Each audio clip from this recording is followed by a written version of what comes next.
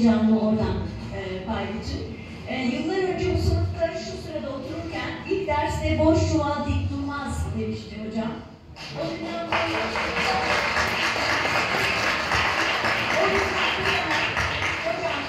öğrencimiz olmayı sürdürüyoruz. Ve elimizden geldiğince, dilimiz döndüğünce çuvalı doldurmaya çalışıyoruz ama bizimki bilgi çuvalı.